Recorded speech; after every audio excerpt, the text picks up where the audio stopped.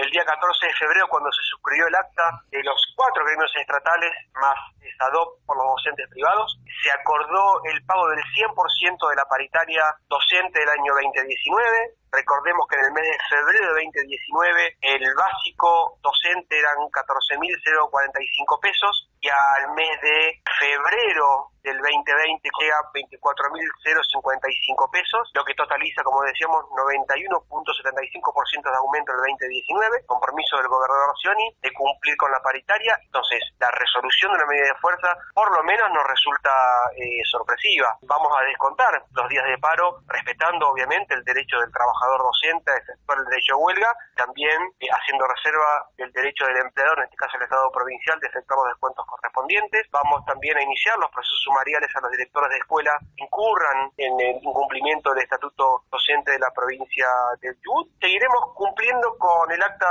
firmada el día 14 de febrero en el Ministerio de Educación. Lo que sí nosotros vamos a, realizar son todas las reuniones a nivel nacional para poner en conocimiento tanto al Ministerio de Educación como a las entidades gremiales que han la paritaria nacional, cuál es la problemática en la provincia del Chubut. Es decir, que no es una cuestión salarial, porque nosotros no tenemos más nada que negociar de la paritaria 2019, ya están los compromisos asumidos, las fechas de pago. Evidentemente acá hay una cuestión en el medio que es política y que la tendrán que también solucionar a nivel nacional las confederaciones de, que agrupan a las entidades gremiales. ¿Ustedes entienden que este paro ya el problema no es con el gobierno, es interno del sindicato por las elecciones que se vienen? Y yo estimo que sí, porque no hay una cuestión, no hay una cuestión salarial, Pablo, para resolver. Evidentemente que hay, cuestiones políticas internas y que lamentablemente los alumnos de la provincia del Chubut y las familias en general, que son las que sufren. ¿Ustedes consideran que la medida de fuerza la semana que viene no va a tener un alto acatamiento? No, nosotros estimamos que no, estimamos que no y vamos a ir trabajando en ese sentido.